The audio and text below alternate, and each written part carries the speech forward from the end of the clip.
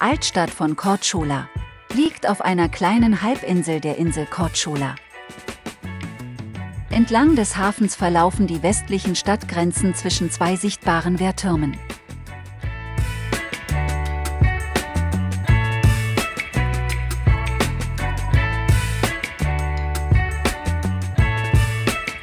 Einiges über die Geschichte der Stadt. Die Stadt wurde von Griechen, Römern, Illyrern, Kroaten und Venezianern geprägt. Die ältesten Gebäudereste von Korčula sind Fragmente mit Weidenornamenten aus dem 10. bis 11. Jahrhundert.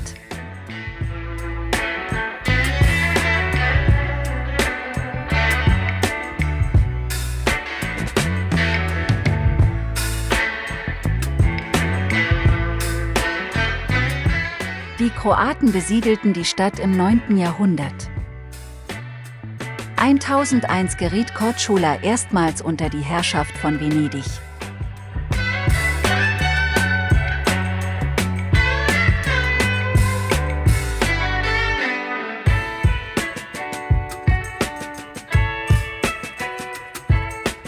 Das Dokument zur Stadtgründung stammt aus dem 13. Jahrhundert. Im Jahr 1298 gab es Kämpfe zwischen Venezianern und Genuesen in den Gewässern vor der Stadt. Die Venezianer mit Marco Polo erlangten bei dieser Seeschlacht die vollständige Hoheit über Korčula. Marco Polo wurde einer der bedeutendsten Bewohner, dessen Spuren noch im 21. Jahrhundert gut zu erkennen sind.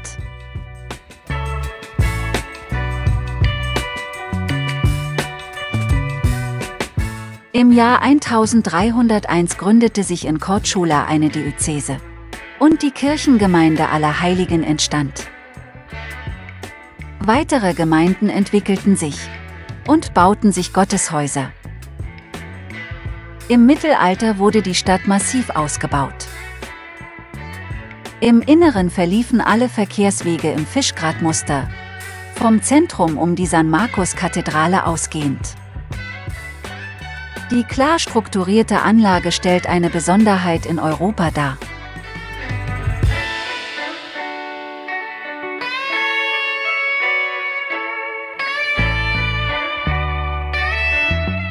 Wohnbauten, Kirchen und kommunale Einrichtungen entstanden auf genau definierten Grundstücken.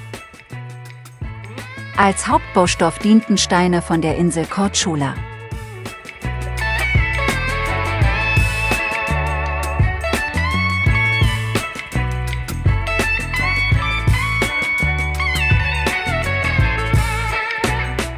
Die Michaeliskirche in Korčula wurde erstmals in Dokumenten aus dem Jahr 1408 erwähnt.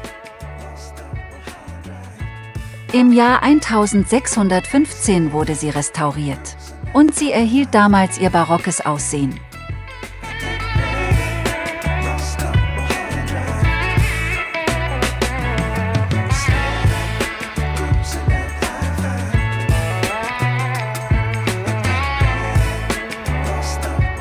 Im Inneren der Kirche befindet sich eine Renaissancekanzel und ein Gemälde auf dem barocken Marmoraltar.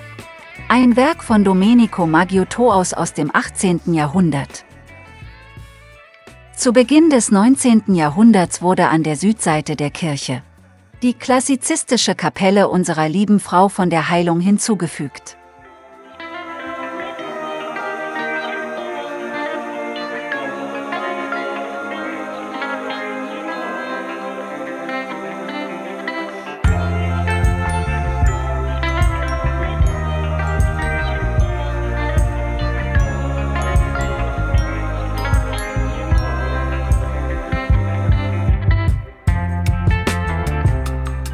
Bis zum Ende der Republik Venedig behielten die Doschen die Hoheit über Korčula. Danach eroberten nacheinander Österreicher, Franzosen, Russen und Engländer den Stadtstaat. Vom Wiener Kongress 1815 bis 1918 gehörte Korčula zur K- und K-Monarchie Österreich-Ungarn.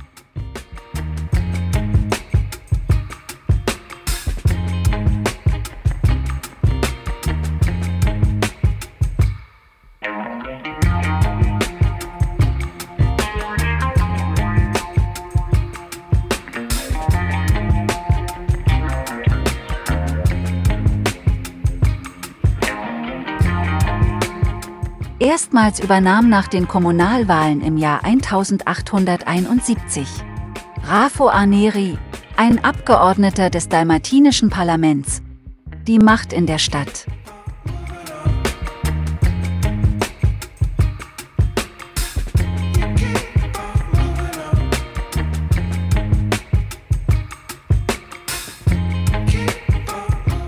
Die Markuskathedrale befindet sich in erhöhter Lage im Stadtzentrum. Die Kathedrale wurde von lokalen Meistern vom 15. Jahrhundert bis zur Mitte des 16. Jahrhunderts gebaut.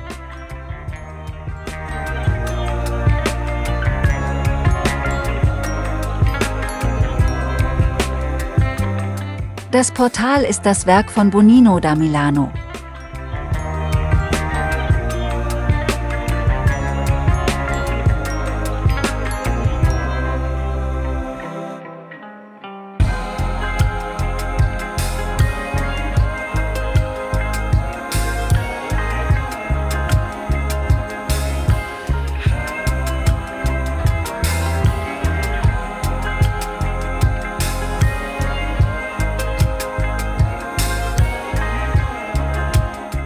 Im Zweiten Weltkrieg stand Korčula von 1941 bis 1943 unter italienische Herrschaft und von Ende 1943 bis September 1944 unter deutscher Besatzung.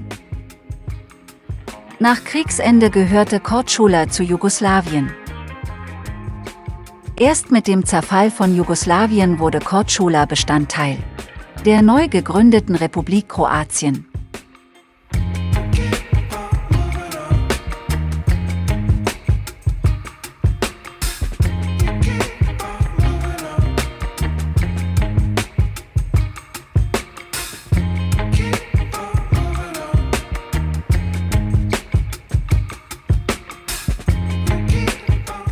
Die kleine Kirche mit der schlichten Fassade stammt aus dem 14. Jahrhundert und ist eines der ältesten Gebäude der Stadt.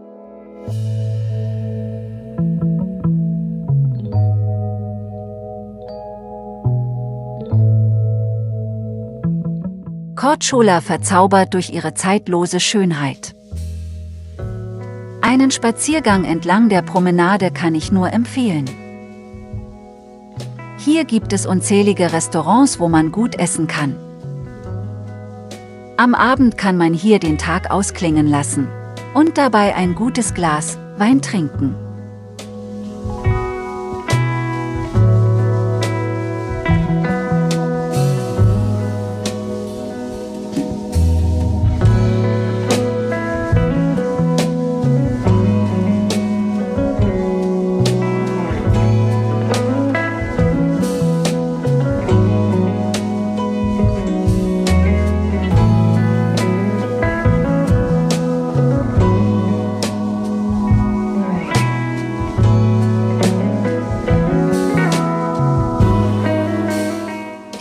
Die Altstadt Korčulas ist von Mauern umringt. Und die Straßen sind in Fischgrätenmuster angelegt, wodurch eine ungehinderte Luftzirkulation, aber auch Schutz vor starkem Wind ermöglicht wird.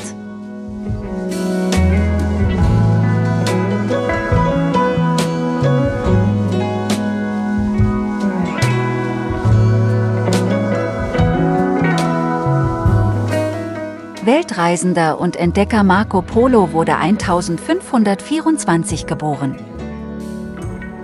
Das Haus der Familie Polo in Venedig ist verschwunden und räumte den Platz für ein Theater, während in Korčula das Geburtshaus erhalten ist, somit auch das Andenken an den großen Marco. Die Familie De Polo ist auch heutzutage eine der ältesten Familien auf Korčula.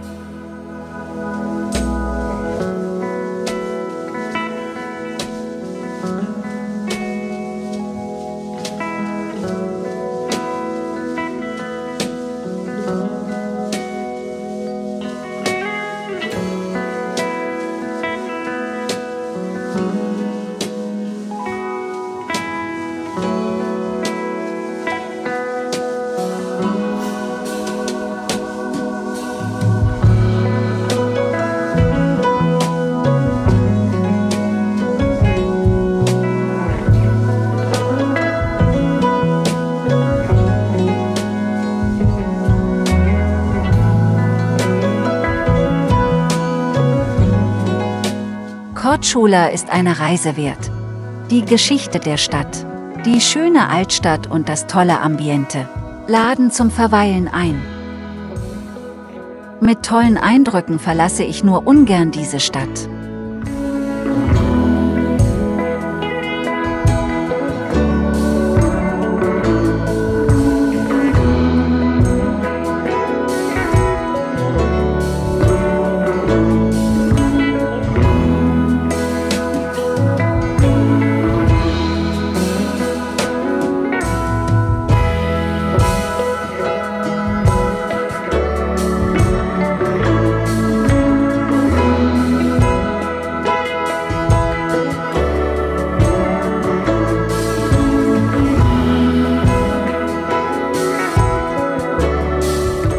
Wenn dir das Video gefallen hat, freue ich mich über ein Abo und einen Like.